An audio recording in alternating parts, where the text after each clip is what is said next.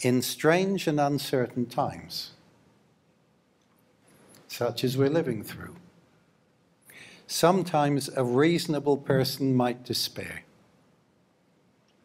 but hope is unreasonable, and love is greater even than this.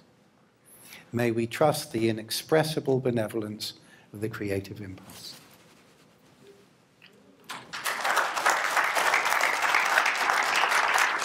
Ladies and gentlemen, Robert Fripp.